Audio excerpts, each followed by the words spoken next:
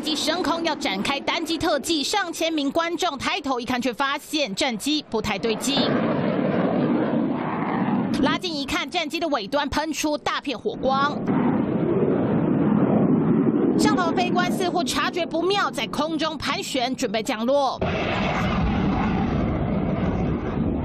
空军清泉岗基地为了周六的活动，上午展开预演，雷虎小组很顺利，还喷了象征国旗的喷雾。单机特技表演时，在空中的 IDF 战机先是冒出了浓烟，接着疑似漏油起火，引擎尾管窜出火光。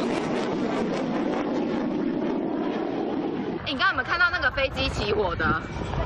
有吗？那个是怎么样？那个喷火的那个比较漂亮。哇，你没有吓一跳吗？没有。它飞机烧起来这样哎。烧起来。我以为它就是跟，那就是那个。空军司令部也紧急发布新闻稿，疑似是因为发动机异常才会出状况。信号管制人员立刻通知飞行员顺利降落，人机均安，已经勒令立即检修。但上千名民众本来是要观赏战机英姿，却意外直击战机起火画面，实在有点浪惨。接韩金星、吴鹏新在景城台中采访报道。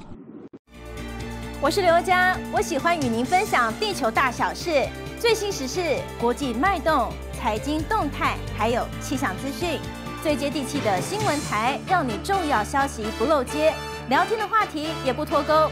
当然，更多新闻，请锁定中视的 YouTube 频道，记得按赞、订阅、分享，还要开启小铃铛哦。